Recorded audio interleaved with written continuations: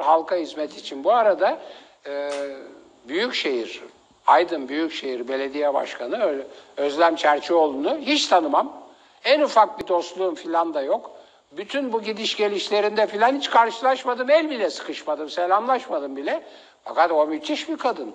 Yani e, o Kuşadası'nın bütün dünyaya örnek olan bilmem 17-20 kilometre uzunluğundaki yürüyüş yolunda damgasını görüyorsunuz kadının. Yani e, gerçekten onu kutluyorum. Bir de tabii Kuşadası'nın yeni seçilen belediye başkanı Ömer e, Günel e, ilk icraatı faytonu yasaklamak oldu adamın. Ya yani şimdi bu gençlere insan hakikaten şapka çıkarıyor.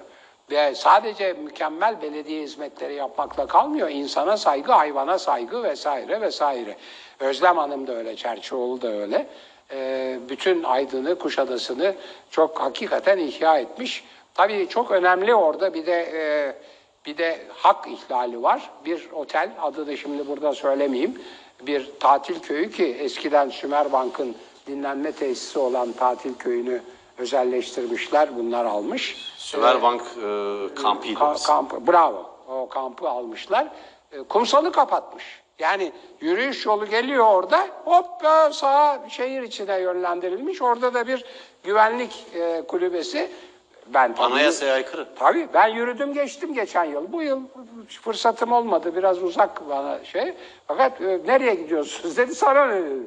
Yani e, kumsalı kumsalı kapatmak anayasaya aykırı.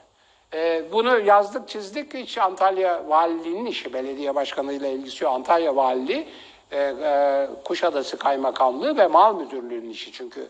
e, Aydın Valiliği. Aydın Valiliği'nin. Çünkü e, şeyi yapan, kiralamayı yapan o.